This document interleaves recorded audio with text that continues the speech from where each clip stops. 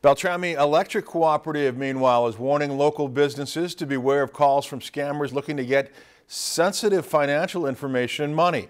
Several Bemidji area businesses received calls from scammers today looking to gain that financial information or money from these businesses.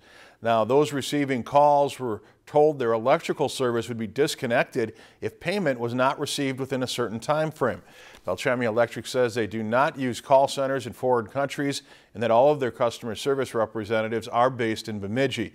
They say they do call customers when needed, but if you're not 100% sure it's an actual representative, hang up and call the co-op back at the number listed on your statement. They also encourage you to report the incident to the police. Beltrami Electric says consumers who have not received a disconnection notice in the mail should not engage anyone on the phone or by email demanding to take payments. If you enjoyed this segment of Lakeland News, please consider making a tax-deductible contribution to Lakeland PBS.